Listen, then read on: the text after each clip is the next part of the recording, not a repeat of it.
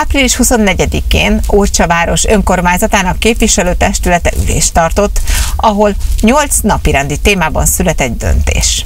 Hát most ez egy napirendben rövid testületülés volt, összesen nyolc napirendünk volt, ebből hármat emelnék ki.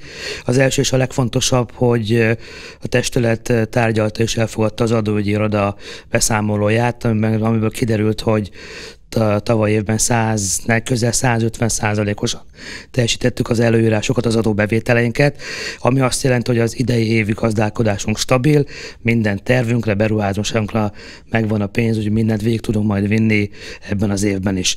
A másik napi rendi pontunk az egy, egy lakossági kényelmi szolgáltatásról döntött, valószínűleg ebben az évben többször is kell, majd ugye ez a szúnyoggyérítés, e, és így május hónapban már az első ilyen gyérítést meg is fogjuk tenni és végén pedig zárt ülésen a ilyenkor szokásos pedagógus napi kitüntető díjakról döntöttünk.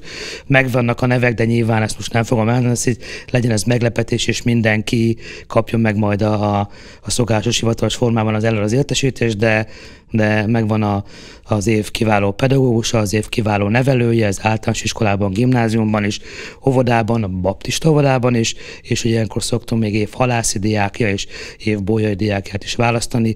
Ez is megtörtént egyhangú szavazással, hogy ezeknek a díjaknak az átadása majd pedagógus napon, vagy pedig az iskolai évzárókon fog megvalósulni. Úgyhogy igazából ezek voltak azok a napi rendi pontok, amik szerintem említésre méltóak.